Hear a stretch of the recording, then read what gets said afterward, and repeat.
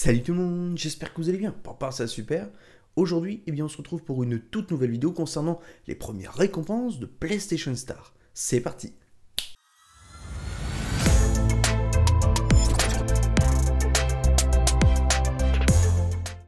on se retrouve sur le site de PlayStation.blog pour vous parler de cet article. Premier aperçu, les objets de collection numérique arrivent sur PlayStation Star. Oui, si vous n'êtes pas au courant, un programme de fidélité arrive bien sur notre smartphone ou encore notre console directement et s'intitule PlayStation Star. On va pouvoir y gagner eh des goodies numériques ou goodies physiques de l'argent PSN, ce genre de choses. Et eh bien là, PlayStation hier a dégainé lors du State of Play les premières récompenses numériques. C'est parti, et eh bien pour vous résumer très rapidement cet article.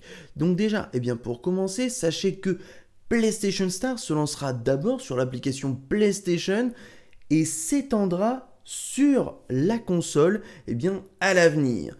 Ils lanceront d'abord PlayStation Star et bien en fin de mois en Asie et au Japon puis viendra l'Amérique et l'Europe sans plus de précision et de date. Maintenant, eh c'est parti pour découvrir eh ces premières récompenses numériques.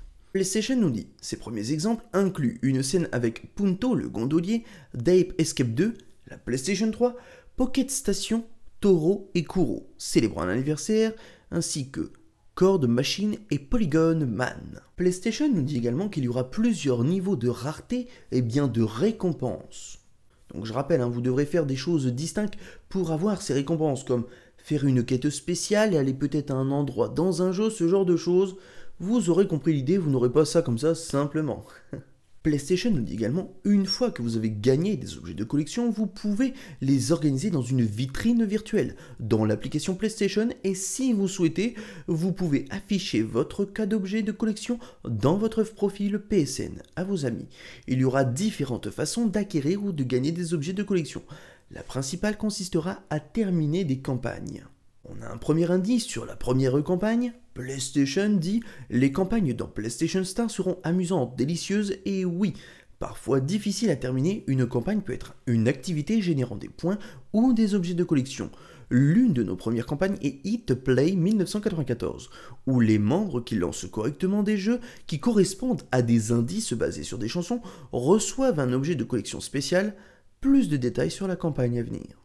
Bon, et eh bien maintenant il n'y a plus qu'à attendre que ce PlayStation Star se lance. On arrive à la fin de cette vidéo, bah, j'espère que ça vous a plu, que ça vous a intéressé. N'hésitez pas à vous abonner si ce n'est toujours pas fait, le partage pour faire connaître la chaîne, le like qui fait super plaisir et puis qui soutient la chaîne. Et on se retrouve prochainement pour d'autres vidéos. Moi je vous laisse, ciao tout le monde et puis partez au bien.